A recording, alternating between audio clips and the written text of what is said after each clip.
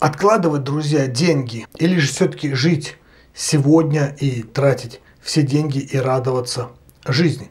Давайте сегодня поговорим на данную тему. Тема очень интересная. Также мне будет интересно ваше мнение в комментариях. Как вы считаете вообще, стоит ли тратить деньги, жить сегодня, или же все-таки стоит откладывать деньги себе на будущее и ставить цель, ну, например, как вариант жить с капитала. Данная тема на самом деле интересная и непростая у всех отношений к финансам.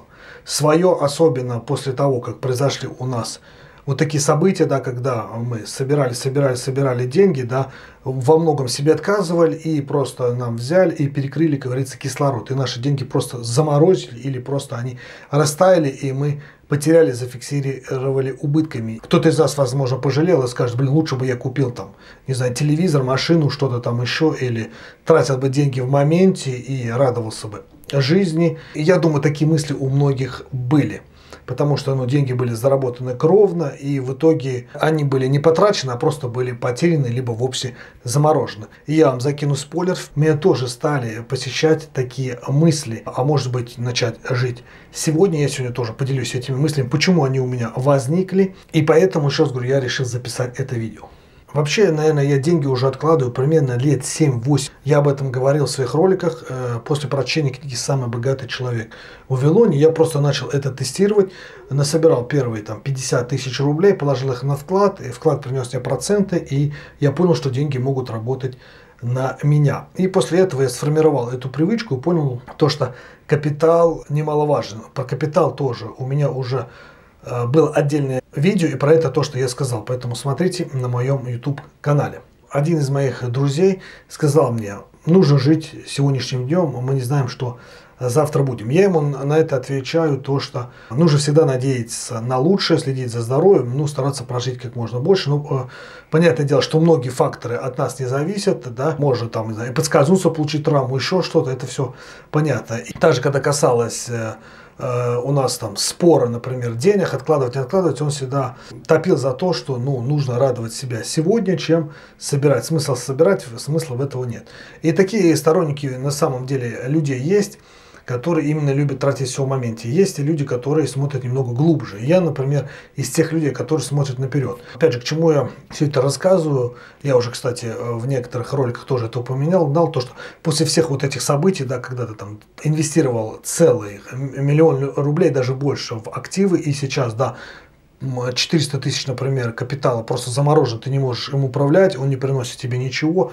Еще какая-то часть капитала убытки из-за того, что активы все обесценились, и ты как бы понимаешь, блин, ты тут столько ну, в рынок вкладывал, ты зарабатывал эти деньги, да, тот же самый миллион ушло у тебя не один год, и тут в один прекрасный момент, да, вот такое вот случилось, хотя вроде бы, да, ты осознавал то, что инвестиция это риск, ты готов был к этому риску, но все равно, понятное дело, всем э, это дело неприятно. Я тоже стал задуматься, может быть, действительно нужно жить сегодняшним днем, смысл вот в этом во всем э, откладывать или так чуть-чуть себе на черный день отложить, а так шиковать, жить, тратиться сегодня и радовать себя эмоциями и кайфовать от жизни.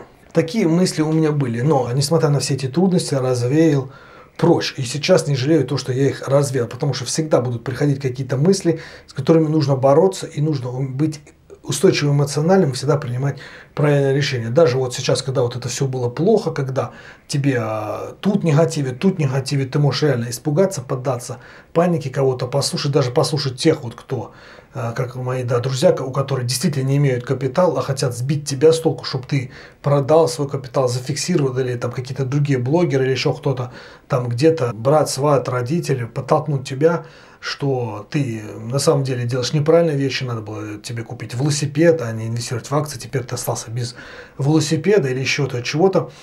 Это очень важно. И я вот э, эти моменты преодолеваю, и мне очень трудно пробить, кто бы на меня как не влиял, там родители, друзья. Я все равно для себя понял такую вещь, что все-таки пусть я буду сегодня намазывать одну баночку с икрой, а со временем я буду намазывать столько икры, сколько я захочу. Я сторонник этого. Кто-то хочет намазывать сегодня не одну, а три сразу э, булочки с икрой. Тут уже каждый выбирает сам. Об этом я уже ранее сказал. Я пришел на рынок и инвестиции для того, чтобы жить с капиталом. И я готов вот это все терпеть, я готов сегодня намазать, еще раз говорю, одну баночку с икрой. И что еще самое важное меня спасает, то, что когда у тебя есть капитал, это лучше, чем когда у тебя его нет, и когда ты живешь в моменте. Даже вот касается того же самого здоровья. Вот недавно мне нужно было пойти в больницу, ну, вот так вот приболел я, всякое у нас бывает, непредвиденные обстоятельства, и я выложил 4000 рублей. Благодаря тому, что я отказался икру есть каждый день, у меня есть эти 4000 рублей в нормальную медицину, в нормальную поликлинику. Реально вылечился, 2-3 недели восстановился, и все шикарно, как говорится. А, современная медицина решает, эм, может быть, она в России не на хорошем уровне, но все равно довольно-таки неплохая. И не сказать, что она дорогая. Ну, те, кто, например, э, живет сегодняшним днем, кто деньги сегодня транжирит, конечно же, он не скажет, я лучше пойду в бесплатную, чем я пойду в платную, потому что у него нет денег на платную, потому что он выбрал вот такую стратегию жить сегодня, намазывать икру каждый день на хлеб. Я немножко выбрал другую стратегию, ей позволяю себе вот и лечение, и где-то что-то купить, но и в то же время вот так вот куда-то деньги не швыряюсь, стараюсь все равно излишки инвестировать и накапливать. И вот эти очередные мысли меня, которые я принял раньше, то, что нужно, несмотря на что, все равно откладывать, и вот именно болезни, все вот это, лечение занимаюсь уже около двух лет э, своим здоровьем, я уже это рассказывал, эти все вещи, они, например, меня, например, и сподвигнули вот этот весь информационный шум отодвинуть, потому что я лечусь в платной клинике, у меня там уже есть свои врачи, мне это нравится. И я понимал, если я буду всех вот этих людей слушать, тратиться в моменте, то у меня не будет хватать на лечение, на какие-то, например, вещи. Мне нужно ну, обновить новый телефон. Я беру его и обновляю, да, потому что он мне нужен для работы, а не думать кто мне даст деньги, как отдавать этому человеку, или искать банк, где бы мне одобрили кредит, потом думать, как эти переплачивать проценты отдавать. И поэтому я выбрал вот такой путь жить, ну как сказать, немножко как бы завтрашним днем, на перспективу. Я как бы живу сегодняшним днем, я понимаю, да, всякое может быть. Не сказать, что я себе там в чем-то отказываю. Ну, есть какие-то у меня где-то ограничения, понятное дело, но а, сказать, что там себя в чем-то где-то сильно обламываю, нет. Я стараюсь себя тоже радовать покупками, я это все рассказывал. Но еще раз говорю, хочется жить в будущем с капитала. Даже если сегодня где-то что-то я не имею или где-то я а, что-то недопокупаю, в будущем я себе это смогу позволить. Да, некоторые, кто-то там скажет, что с такой экономикой и с той стороны, как себя показали инвестиции, это невозможно. На самом э, деле, ребят, все возможно. Если грамотно изучать инвестиции, все распределять грамотно по разным классам активам, у вас не будет таких убытков. А если у вас такие убытки или вы не получаете дивиденды, вы сами в этом виноваты. Все равно на длинном горизонте все это можно исправить. Можно действительно не париться вообще, не инвестировать, и, соответственно, если вы не будете инвестировать, то вы не будете париться. Потому что, еще есть две денежные проблемы. Когда есть деньги и когда нету денег. Каждый сам выбирает, какую ему иметь проблему. Я предпочитаю, конечно же, проблему денежную. Да, это есть проблема. Эм, она тоже создает тебе неприятности, когда у тебя есть деньги, когда не тают, когда их замораживают, когда что-то еще. Но и здесь же есть вторая сторона приятная, когда ты можешь действительно позволить себе хорошую медицину, купить себе какие-то ништяки, что-то еще, ну и порадовать, как говорится, себя. Даже пойти и сходить в ресторан раз в недельку вкусно покушать что-нибудь новенькое, чисто себя там отблагодарить за хорошую работу, ну или даже просто, почему бы и нет, как говорится. Пишите в комментариях, какие у вас мысли насчет этого, вы что предпочитаете жить сегодня, не жалеете ли вы, что начали вообще инвестировать, как будете относиться дальше с инвестированием, зафиксировали вы убы, убытки, если да, то будете ли вы дальше инвестировать, будете ли вы жить сегодня или вы все равно будете откладывать, просто будете держать деньги на депозите, или же все-таки вы будете э, больше жить как бы сегодня, а иметь вот такой вот маленький запасик на черный день, день, и этого вы будете считать, что вам хватит. Либо же, может быть, вы будете всю зарплату сливать на тусовки, на хорошую еду, на хорошую одежду и тому подобное.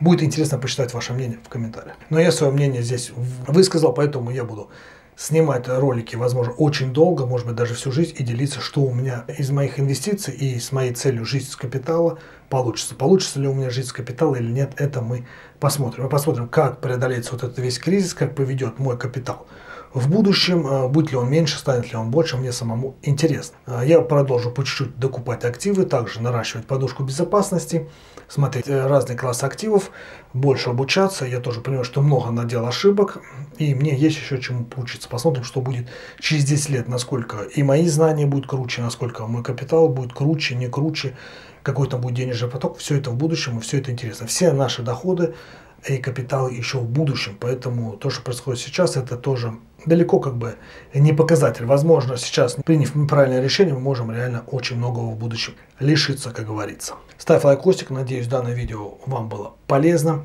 Делитесь данным видео со своими друзьями. Может быть, оно им будет тоже полезно. И они тоже поделятся в комментариях, как они живут сегодняшним днем или чуть-чуть смотрят на будущее. Если еще не подписались, друзья, на мой YouTube канал, то подписывайтесь. Будет много интересных, полезных моих мыслей и роликов. Но с вами на связи был, как всегда, Фокин Евгений. Всем пока, увидимся на просторах интернета.